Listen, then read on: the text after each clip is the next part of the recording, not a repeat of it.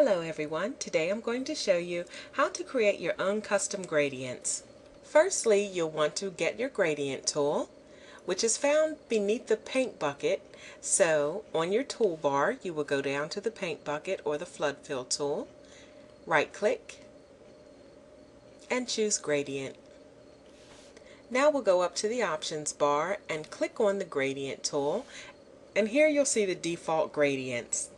To create a custom gradient, it's probably easier to start with a gradient that's similar to what you want to work with. Unless you're going to do something that's very specialized, then you'll probably want to start from scratch.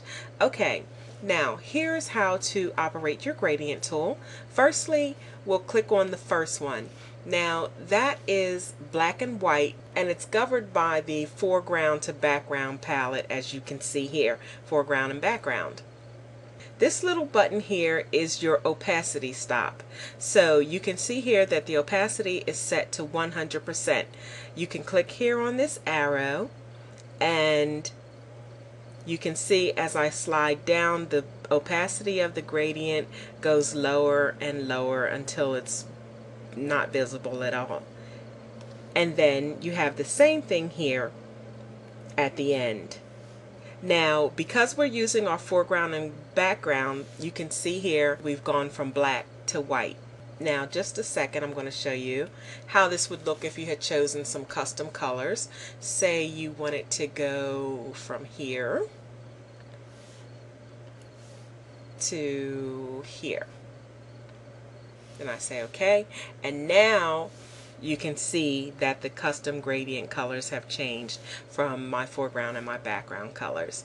And if I wanted to I could just go ahead and apply that and I'd start at one end going linear. So I'm going to go from one end to the other end just draw a straight line and there you have it a nice gradient. Or I could go from top to bottom and you can see once again, I have a gradient that match my foreground and background colors. Okay, so what I'm going to do now is I'm going to try and incorporate all of these colors here into my gradient. And so to do that, here's what we'll do. You go back to your gradients. I'm going to stay with the foreground background, but I'm going to alter it so that I can incorporate all the colors into the gradient. So the first thing you want to do is add more stops. First we'll start with the color stops. Now when you're using foreground background you can see that you have the little checks as if it were a transparent background document.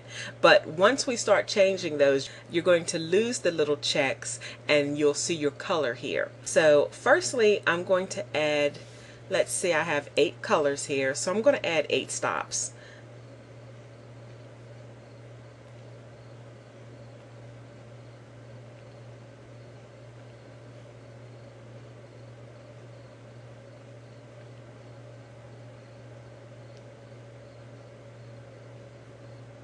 And you want to space them out pretty much as evenly as possible. Now these are the opacity stops and I want each stop to be at 100% so I'm going to go ahead and just make sure that they are all at 100% and you can see that they are. When you're double checking, you just want to make sure you go here. You can see the location is changing. That's at 88%, 75%, 59%, and you can see that they're all at 100. If I wanted to, I could lower the opacity, and you can see now that that goes faded down a little bit. And now we're going to add our color stops. So you want your color stops to line up with the opacity stops. So you just want to click right below the opacity stop.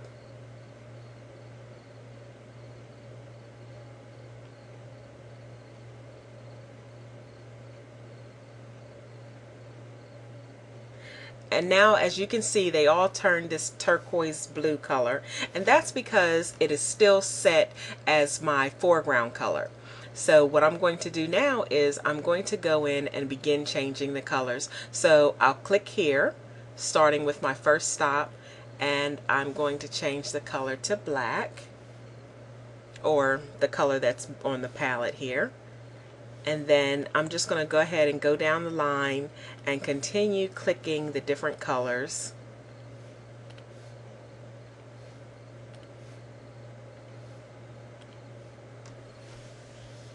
and there you have it you've created a gradient and it incorporates all the different colors that are found in the palette here so you can alter this a little bit or a lot depending on how you feel you can slide your color stops over the further to the right that you slide them, the smoother your gradient will be.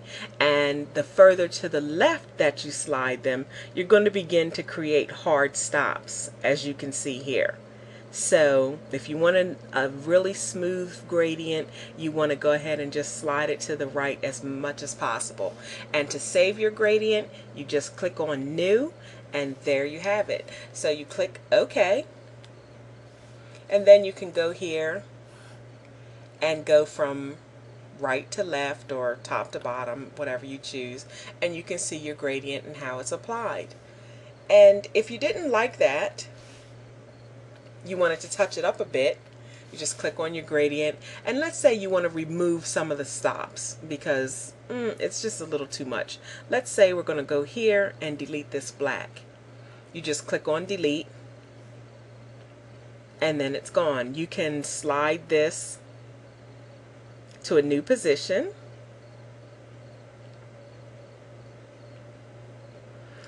And let's say we're going to remove this color as well. Just click on stops and then click on delete. And then you can slide your sliders to a new position.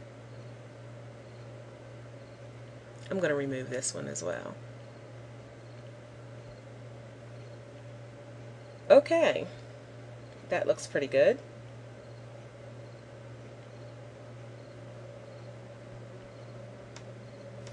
And then I'm going to save this one again as well. So I just click on new.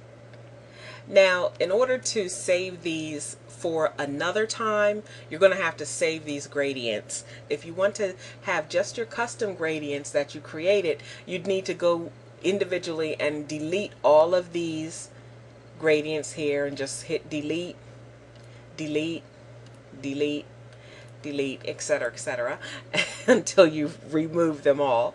And now you're going to have to save it. So you click on Save and name your gradient to whatever you like. Um, let's say New.